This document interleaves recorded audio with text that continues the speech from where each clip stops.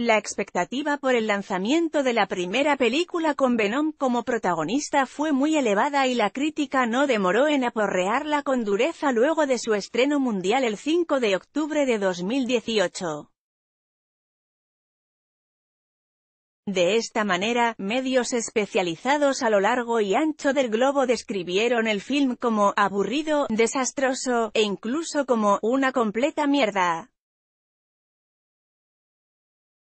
Tan así fue que, además de las críticas al guion, muchos pusieron el foco en la actuación del propio Tom Hardy que encarna al monstruoso Venom, y a quien se llegó a definir como un actor sobrevalorado.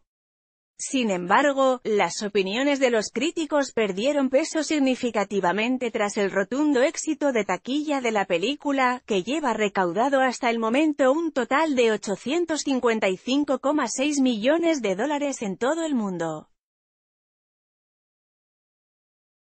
Así, Venom consiguió quedarse con el sexto puesto entre los estrenos más taquilleros del año pasado y generó un lógico interés en Sony Pictures, la distribuidora de la cinta, en producir una nueva entrega.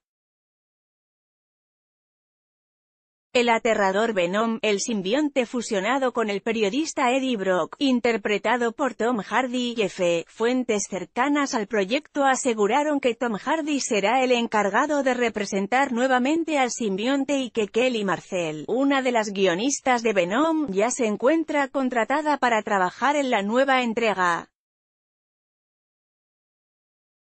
El film fue dirigido por Ruben Fleischer y retrató a uno de los villanos más emblemáticos del universo de Spider-Man, una suerte de vida inteligente interestelar que, para sobrevivir, debe fusionarse con el periodista Eddie Brock, Tommy Hardy.